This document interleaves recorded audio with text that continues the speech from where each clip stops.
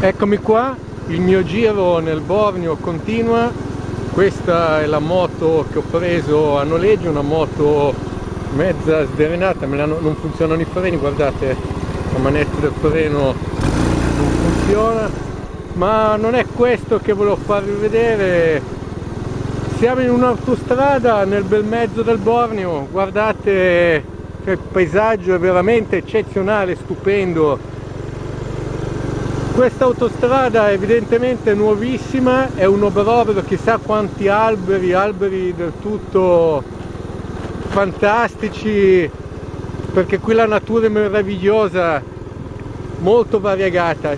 Ogni albero è diverso dall'altro, ci sono 3000 specie floreali solamente per quanto riguarda gli alberi, altrettanto per quanto riguarda le piante con i fiori, i fiori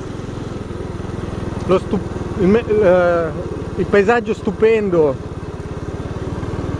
E qui ci troviamo in questa autostrada d'asfalto vuota e a dire la verità mi devo ancora anche abituare a, a viaggiare stando sulla sinistra perché qui la guida è all'inglese. Essendo stata una colonia inglese hanno quel brutto vizio di guidare dall'altro lato e non è tanto guidando che la cosa risulta difficile che dà fastidio, più che altro andando a piedi che a volte attraversi e, e rischi davvero di finire sotto una macchina perché guardi, dal, guardi se arrivano macchine dal lato sbagliato.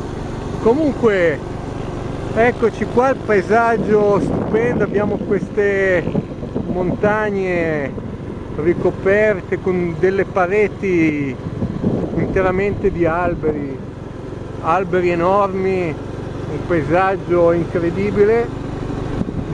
Questo sono io, a riprova che ci sono, sono io veramente che sto effettuando il filmato.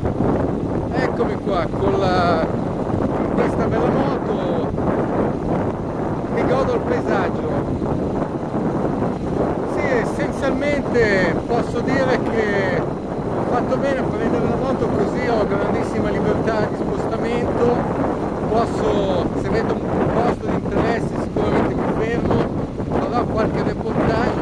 E in questo modo posso muovermi veramente dove ho intenzione di andare senza stare vincolato ai mezzi pubblici che ci sono. Sono anche molto frequenti comodi col climatizzatore ma io preferisco viaggiare in, questo, in questa maniera qua semplice. Con il vento in faccia in moto. Ok ragazzi ci salutiamo con queste bellissime immagini. Ecco guardate che bellissimo paesaggio. E il mio viaggio in moto continua. Ok? Ciao ragazzi alla prossima. Ciao